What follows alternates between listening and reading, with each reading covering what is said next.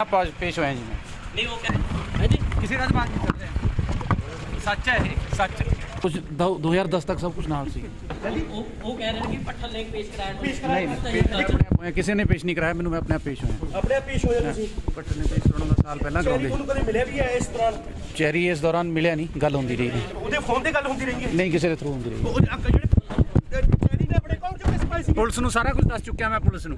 ਦੇਖੋ ਜੀ ਇਹਦੇ ਚ ਜਿਹੜੇ ਜਿੰਨੇ ਮੁਕਦਮੇ ਸੀ ਸਾਰੇ ਤੇ ਉਹਨਾਂ ਦੇ ਸਾਰਿਆਂ ਦੇ ਵਿੱਚ ਕਿਉਂਕਿ ਚਲਾਨ ਪੇਸ਼ ਹੋਏ ਹੋਏ ਸੀ ਤੇ ਇਹਨੂੰ ਪੀਓ ਕੀਤਾ ਹੋਇਆ ਸੀ ਇਹ। ਉਹਨਾਂ ਕੇਸਾਂ ਸਾਰਿਆਂ ਦੇ ਵਿੱਚ ਇਹਦੀ ਅਰੈਸਟ ਪੈ ਗਈ ਸੀਗੀ ਅ, ਅੱਠ ਮੁਕਦਮੇ ਸੀ ਟੋਟਲ ਉਹਨਾਂ ਸਾਰਿਆਂ 'ਚ ਅਰੈਸਟ ਪੈਣ ਤੋਂ ਬਾਅਦ ਇਨਵੈਸਟੀਗੇਸ਼ਨ ਜਿਹੜੀ ਵੀ ਇਹਦੀ ਹੋਈ ਉਹਦੇ ਬਾਅਦ ਇਹਨਾਂ ਨੇ ਅੱਜ 2 ਦਿਨ ਦਾ ਪੁਲਿਸ ਰਿਮਾਂਡ ਹੋਰ ਮੰਗਿਆ ਸੀ ਪੁਲਿਸ ਨੇ।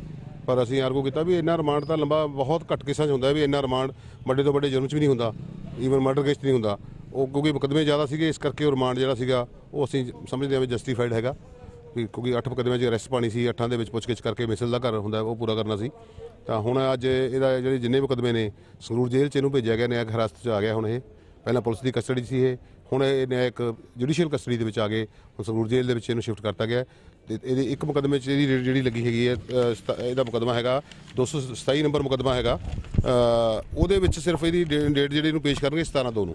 ਇੱਥੇ ਕੋਰਟ 'ਚ ਮਹਿੰਦੀ ਰੱਤੇ ਸਾਹਿਬ ਦੇ ਬਾਕੀ ਸਾਰੇ ਜਿੰਨੇ ਕੇਸ ਨੇ ਉਹਨਾਂ 'ਚ ਕਰਨਗੇ ਇਹਨੂੰ ਪੇਸ਼ 23 ਦੋ ਨੂੰ। ਹੁਣ ਬਾਕੀ ਫਤਿਹਗੜ੍ਹ ਤੋਂ ਜਿਹੜੀ ਮੁਕਦਮਿਆਂ 'ਚ ਇਹਦੀ ਫਾਰਮਲ ਕੋਈ ਅਰੈਸਟ ਪਾਣਗੇ ਹੋਰ ਕਰਨਗੇ। ਪਟਿਆਲੇ ਤੋਂ ਹੈ ਮੁਕਦਮੇ ਉਹਨਾਂ 'ਚ ਜਦੋਂ ਵੀ ਕੋਰਟ ਤੋਂ ਰਿਕਵੈਸਟ ਕਰਕੇ ਟ੍ਰਾਂਜ਼ਿਟ ਰਿਮਾਂਡ ਮੰਗਣਗੇ ਤਾਂ ਅਸੀਂ ਫਤਿਹਗੜ੍ਹ ਵੀ ਜਾਵਾਂਗੇ ਪਟਿਆਲੇ ਵੀ ਜਾਵਾਂਗੇ।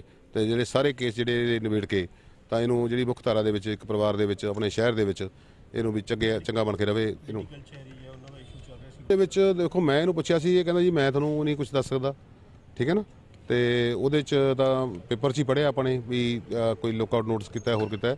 ਉਹਦੇ ਬਾਰੇ ਦੇਖੋ ਮੈਂ ਇਹਨੂੰ ਪੁੱਛਿਆ ਵੀ ਤੇਰੇ ਤੇ ਕੋਈ ਦਬਾਅ ਕੋਈ ਹੋਰ ਜਾਂ ਤੈਨੂੰ ਕਿਸੇ ਨੇ ਮੈਸੇਜ ਕੀਤਾ ਹੈ, ਉਹਨੇ ਇਹਨੇ ਨਾਂ ਲੈਣ ਤੋਂ ਨਾਂ ਨਹੀਂ ਲਿੱਤਾ ਮੇਰੇ ਕੋਲੇ ਪੰਜਾਬ ਨਾਲ ਜੁੜੀ ਹਰ ਖਬਰ ਸਭ ਤੋਂ ਪਹਿਲਾਂ ਵੇਖਣ ਲਈ ਸਬਸਕ੍ਰਾਈਬ ਕਰੋ ਸਾਡਾ YouTube ਚੈਨਲ ਤੇ ਕਲਿੱਕ ਕਰੋ ਬੈਲ ਆਈਕਨ ਤੇ ਤਾਂ ਜੋ ਤੁਹਾਨੂੰ ਹਰ ਖਬਰ ਮਿਲੇ ਸਭ ਤੋਂ ਪਹਿਲਾਂ ਇਸ ਦੇ ਨਾਲ ਹੀ ਵਿਜ਼ਿਟ ਕਰੋ ਸਾਡੀ ਵੈਬਸਾਈਟ ਤੇ www.khabarharpalindia.com ਤੇ। ਇਸ ਦੇ ਨਾਲ ਹੀ ਤੁਸੀਂ ਸਾਡਾ ਫੇਸਬੁੱਕ ਪੇਜ ਵੀ ਲਾਈਕ ਕਰ ਸਕਦੇ ਹੋ। ਫੇਸਬੁੱਕ ਤੇ ਸਰਚ ਕਰੋ ਖਬਰ ਹਰਪਲ ਇੰਡੀਆ